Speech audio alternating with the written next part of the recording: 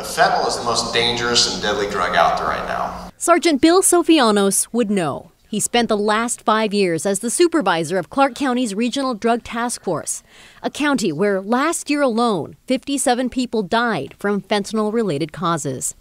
On this night, that message is center stage at Fort Vancouver High School. The audience? Parents and kids from all over Clark County hoping to learn more. Josh Gutierrez drove down from Kelso and brought his 10 and 12 year old sons. I don't want them going into middle school and high school with just being unaware. So that when it comes up and it becomes it becomes an issue, you know, at least I can speak intelligently to my boys about it and to their friends who may not be going to presentations like this. Fentanyl has already had a deadly impact within local school walls. Last year, a KGW investigation uncovered the death of a Hudson's Bay high school student. The girl's mom says the young victim was 16 when she overdosed on fentanyl in a bathroom stall last May.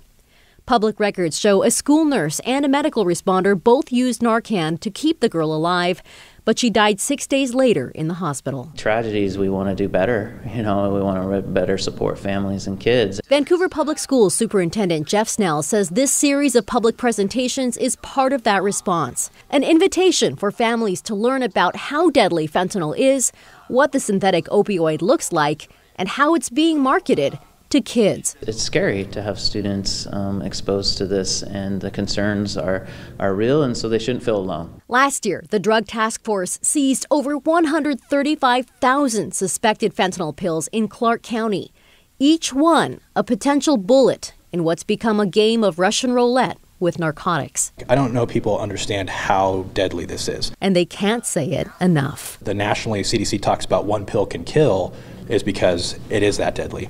Tonight's presentation will be available to watch online. And for those who'd rather hear it in person, you'll get another chance this Thursday at the Evergreen High School Auditorium. A separate presentation in Spanish will also be available that night at the Evergreen High School Student Center. In Vancouver, Catherine Cook, KGW News.